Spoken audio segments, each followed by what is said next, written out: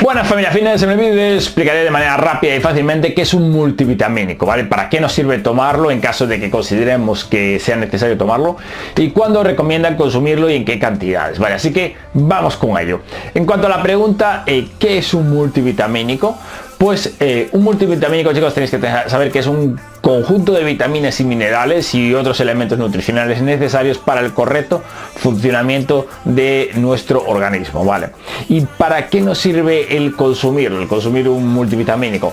Pues básicamente este tipo de suplementos se suele utilizar sobre todo en personas que eh, no suelen tomar un aporte suficiente de frutas y verduras y es posible que puedan tener pues bueno alguna algún déficit, alguna deficiencia en alguna vitamina o mineral concreto, ¿vale? Por lo que este suplemento va a ayudar a llegar a las cantidades necesarias para un aporte óptimo, ¿vale? Además, también eh, suele utilizarse en procesos de altas necesidades, como etapas de mucho ejercicio y cansancio acumulado y eh, situaciones patológicas donde es importante el adecuado aporte de minerales y vitaminas, ¿vale?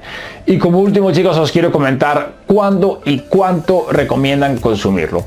Pues lo ideal es tomar este suplemento solo personas que no tienen un aporte suficiente de vitaminas y minerales y como dosis diaria recomendada en la web de Profis podéis ver que eh, su multivitamínico lo recomiendan tomar eh, dos comprimidos al día, uno por la mañana y otro con una comida principal, ¿vale? Y, nada más chicos, espero haberos aclarado más sobre eh, los multivitamínicos y recordad que si hacéis un pedido en Profis utilizando el código FITNESS siempre os va a hacer un 10% de descuento en vídeos gratis y regalos que siempre vienen muy bien.